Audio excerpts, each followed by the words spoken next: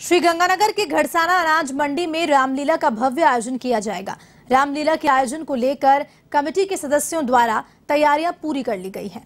श्री राम नाटक क्लब के कलाकार प्रमुख महावीर सारस्वत ने बताया कि नई मंडी घड़साना इलाके में वैश्विक महामारी कोरोना काल के चलते दो साल तक भव्य रामलीला का आयोजन नहीं हुआ था। लेकिन इस बार मंडी वासियों के सहयोग से अनाज मंडी स्थित श्री हनुमान मंदिर में रामलीला का आयोजन होने जा रहा है। बता दें कि आयोजन को लेकर क्षेत्रवासियों में का काफ़ी उत्साह देखने को मिल रहा है। तो वहीं उन्होंने ये भी बताया कि नारद मुँह के साथ रामलीला का शुभारंभ होगा। इसके साथ साथ नंदी रावण संवाद, राम जन्म, ताड़का, वध जैसी प्रस्तुतियाँ विशेष आकर्षण का केंद्र रहेंगी। श्री गंगानगर के नई मंडी गरसाना में रामलीला की भव्य तैयारियाँ जो है, वो शुरू हो चुकी है। आज गढ़साना में रामलीला का आयोजन होगा।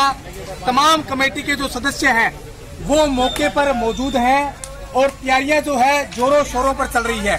इसी को लेकर हमारे साथ वर्तमान जो सरपंच हैं संदीप सिंह जी ढिल्लो वो मौके पर मौजूद है। ढिल्लो साहब दो साल कोरोना काल और उसके बाद भव्य रामलीला की तैयारियाँ। क्या कहेंगे इसको लेकर?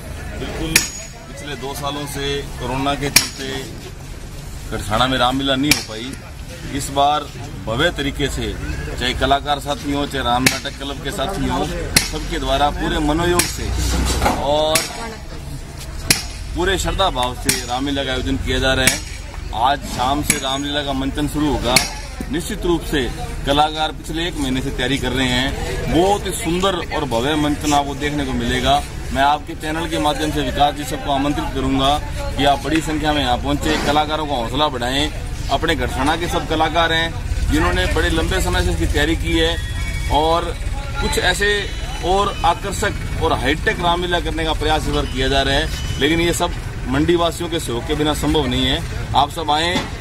दर्शक होना भी एक बड़ा कलाकारों को हौसला बढ़ाने वाला काम है। बिल्कुल है। तमाम जो कमेटी के पदाधिकारी हैं, वो ज़ोर शोर से इस कार्यक्रम को भव्य बनाने के लिए तैयारियाँ जो है वो शुरू कर दी है। हमारे साथ कलाकार प्रमुख जो है, महावीर सारस्वत, वो मौके पर मौजूद है। महावीर जी, तमाम कलाकारों में किस प्रकार उत्साह जो है, वो देखा जा रहा है? कलाकारों में बहुत, एक महीने से रिहर्सल के बहुत उत्साह है।